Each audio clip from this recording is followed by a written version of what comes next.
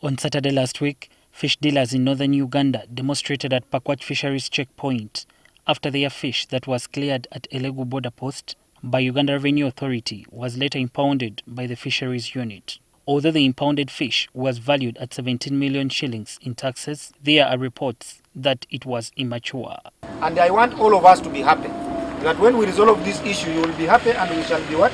We shall be happy. The matter attracted the attention of some leaders who expressed dissatisfaction with the way government bodies operate. So my women are pick loan from Centenary Bank with the Mioga, which because they want their children to survive. They want to send their children to school. So they went to Sudan, they bought a fish.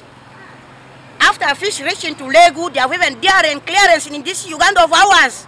Almost 17 millions we have done clearance. Lakini the fish has arrived here at Pakwach.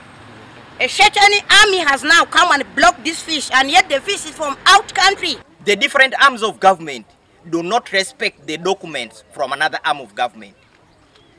The challenge here is not the women, it is not the fault in law, it is the fault of URA and the fisheries department that there is no coordination in government. To solve the fisheries impasse between Uganda and South Sudan, Ministry of Agriculture, Fishing and Animal Husbandry officials will meet their counterparts from South Sudan to assess the type of fish and number of tons to be imported into the country. But also what is very important is to send our technical team to get to know what type of fish do they have.